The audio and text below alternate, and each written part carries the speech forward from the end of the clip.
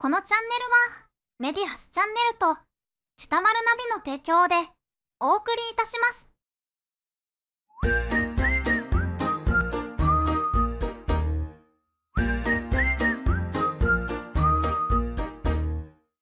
どうも皆さん、こんにちは。ネタフリ社長の佐藤久です。えー、今回なんですけど、えー、レッスンの方にお越しいただきます。今日はお願いします。えー、出版社、風売社新のみと申します。よろしくお願いします。お願いします。あのー、古橋さん。はい。あのー、今回ですね、えー、僕あの、YouTube でもね、前に、あのー、まあ、話出したんですけど、僕が、えー、連載させていただいていた、えー、ネタフリ社長の上を向いての、えー、まあ、コラムを、まあ、今回、古橋さんが、はいえー出版、あのーしていただけるっていうえことで、なんと今日、その本が完成。したっていうことで、僕もまだ見てないんですけど、はちょっとあのー初公開なんですけど、見せていただいてもよろしいでしょうか？お待たせしましたけど、はい。こんな感じです。おー、いいですね。なんかあの、今まで僕、あの、何冊か本出させていただいたことあるんですけど、初めてなんかあの、爽やかなうん、そうですね。感じで、なんか春っぽいですよね。ええ今までちょっと毛色が違う、えー写真を使わせていただいて、ええーまあ、内容的にもあの少しエッセイに寄ってる感じの、いわゆる今までちょっとビジネス寄りだったので、ええええ今回は、えー少しちょっと内容も違うので、カバンを変えてみました。ありがとうございます。で、ちなみに皆さんね、今回、本の帯、これがですね、CBC の大石アナが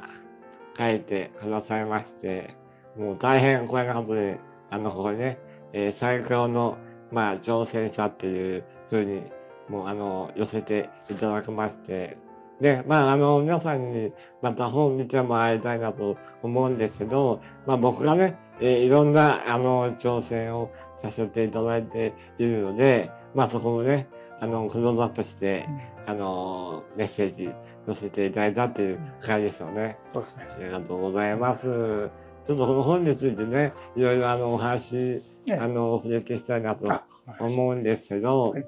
まずですね、僕あの、この、まあ、連載コラムを、えまあ、本にするっていうのは、すごく自分の中では、まあ、念願というか、まあ、目指してたというか、えーそういうところがあるんですけど、今回、まあ、風売社さん、まあ、ご縁いただいて、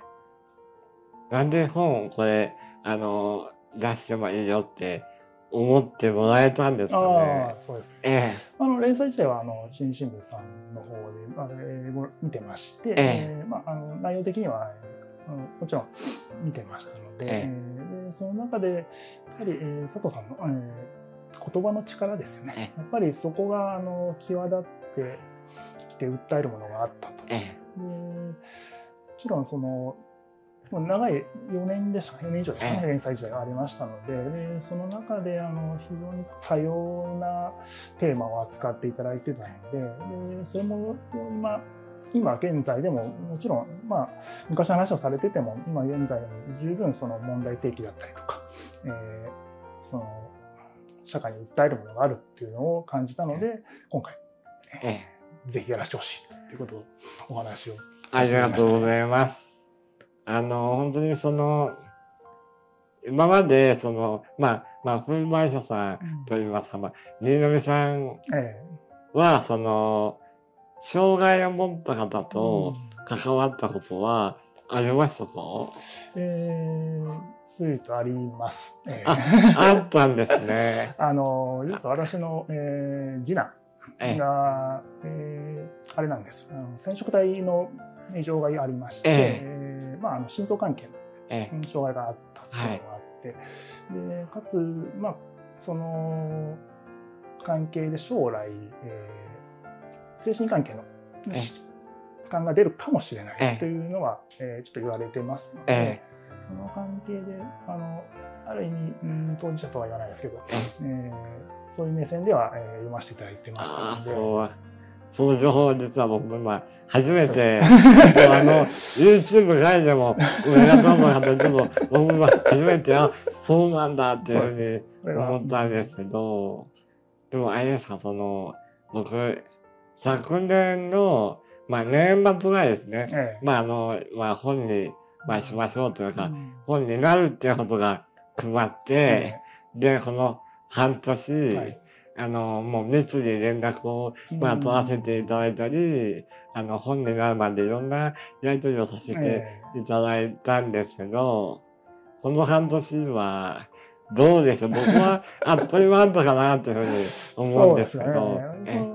そゲラのややはりゲラっていうのはあの原稿の、えー修正等のやり取りをさせていただいたときに、あのまあ、実際もう毎回ですねあのこちらの事務所の方に伺ってやり取りさせていただいたんですけども、えあの佐藤さんのレスポンスの速さにいやいやいやいや。いや、こちら戸惑ってしまったいやいやいやいやいや、通常あのゲラをお渡ししてそれこそいまあ、最低でも1週間2週間ぐらいかけて見ていただいて、ええ。お戻しをいただくっていうのが、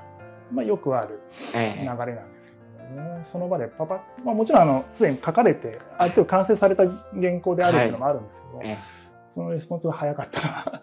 それにえいやいや、ちょっと戸惑うところありましたけどそれでもやっぱりそこにやっぱり凄さを感じましたね。ありがとうございます。あの、ね、本の中でも書いたんですけど、本当に僕は、今の時代だからこそ、えこの IT とえか、まあ、いろんなその便利なものをええ。使って、その会うっていうこともうん。大切ではあるんですけど、うん。このインターネット上で、あの、スピーディーに、うん。まあ、テンポよく、うん。えーやり取りさせていただくっていうのは、すごい大事にしてるので、なんかね、あの、僕も、まあ、ご迷惑をかけないようにしたいなと思いながら、ええ。やり取りをさせていただいたので、あの、うんそんな風に踏まえてはい、ありがとうございます。最初、まあ、あの挨拶で打ち合わせした時に、そのまあ、いわゆる紙のゲラは確認できないからっておっしゃったので、え私の方ではその、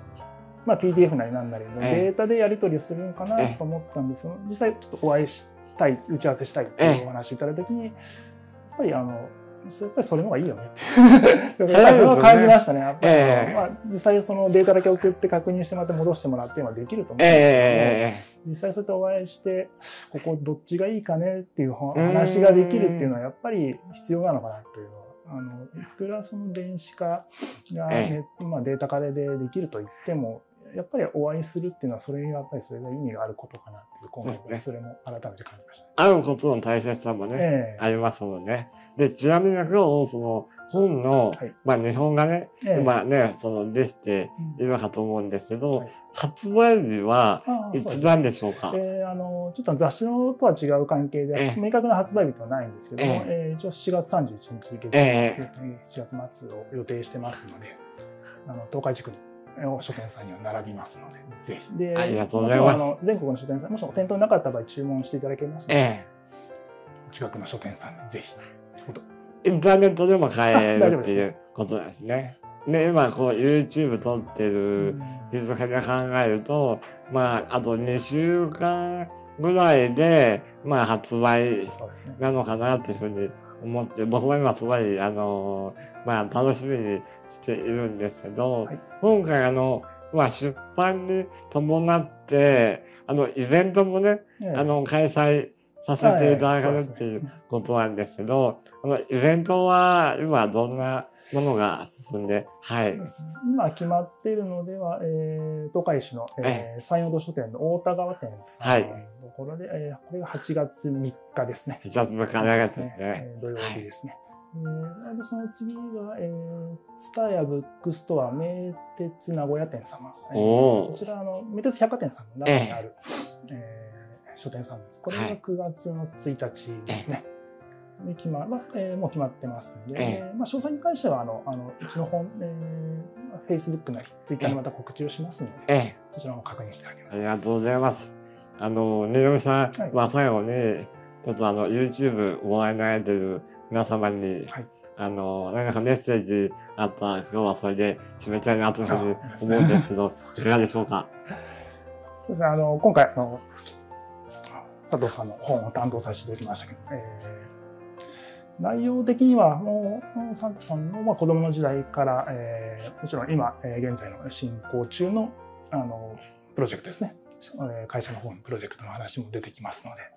えーもう今の佐藤さんはどうやってできたのかというか まあそこはちょっと言い過ぎかもしれない。あの実際あの